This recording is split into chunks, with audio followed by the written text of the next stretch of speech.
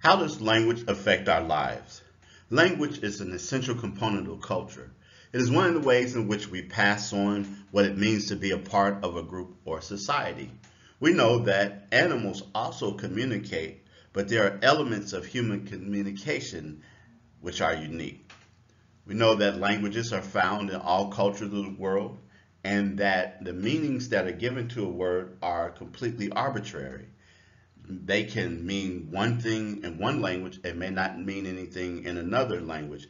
It's just that we, what we as members of a culture assign to a word and its meaning. The unfortunate thing is that languages are disappearing. While there are approximately 7,000 discrete languages in the world, some of them are spoken only by a small number of people. 95% of the world's people speak fewer than 100 of those 7,000. In addition, languages are dying out. Human language is symbolic. We know that it that refers to the fact that language is based on symbols and that there's an arbitrary association of sounds with meaning. They only mean something because a culture in a shared aspect agrees on those things.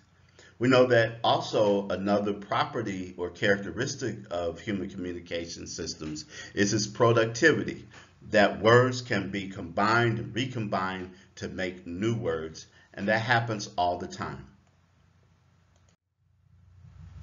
Because of this, we can send an infinite number of messages through language.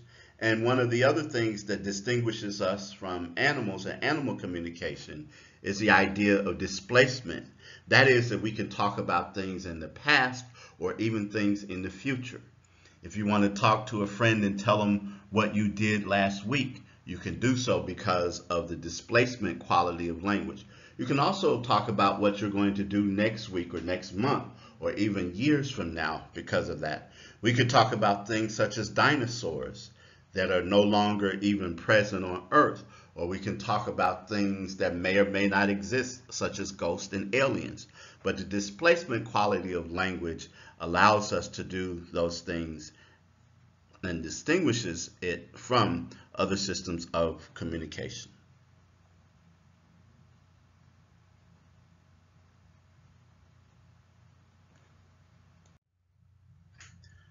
Another thing which distinguishes non-human communication systems and human communication systems is the fact that non-human systems are what we refer to as closed systems.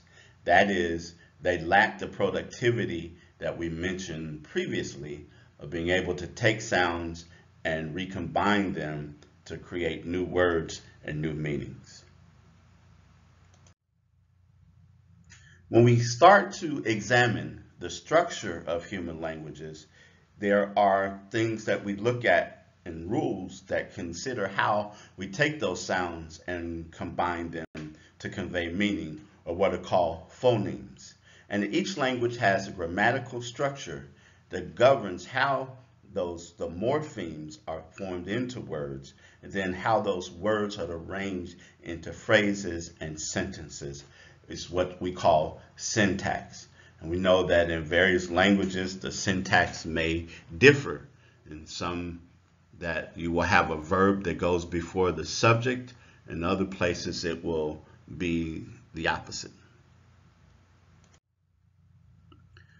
Morphemes are what make up words. And when we look at this particular word, toasters, and we see that toasters consist of three morphemes, toast, er, s, toasters. Language families. Language family comprises all of the languages that derive from its common proto-language. English is a part of the Indo-European language family, and German is actually the mother of English. French and Spanish are sister languages, and if you've ever taken one, you will find that there are similarities between the two, it being a part of what we call oftentimes Romance languages as well.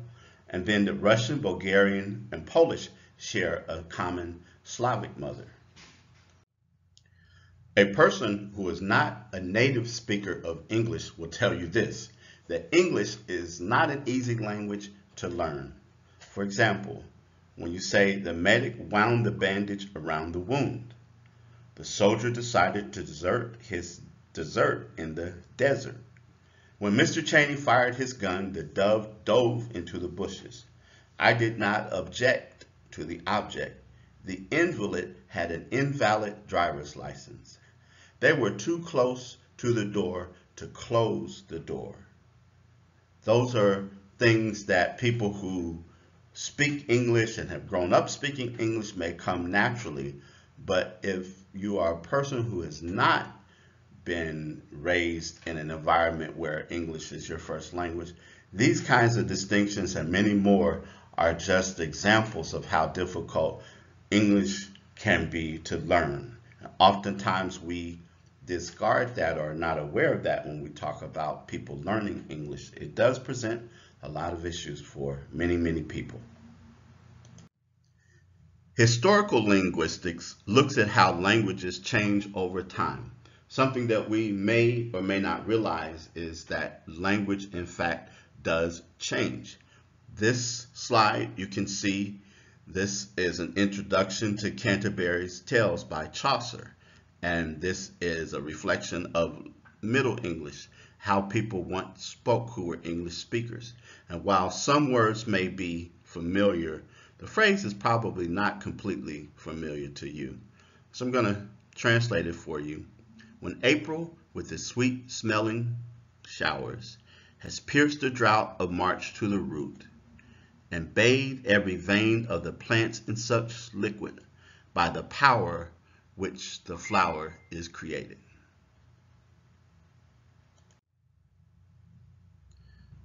Another field in linguistics is ethnolinguistics. And this is where we look at the relationship between language and culture. For example, among the Sami people who live in an area that snow is a constant part of their lives, they have over 200 words to describe snow. Here are just some examples of that. And then the other people that are pictured in this picture are the Maasai. The Maasai are an African culture, and for them, cattle are extremely important. In fact, a boy getting his first cow is a big event in his life. And the Maasai have over 200 to 400 words, depending upon the particular group that describe cattle. Again, demonstrating how language and culture can be intertwined and connected. And those things that are important to a culture tend to have more words to describe things within it.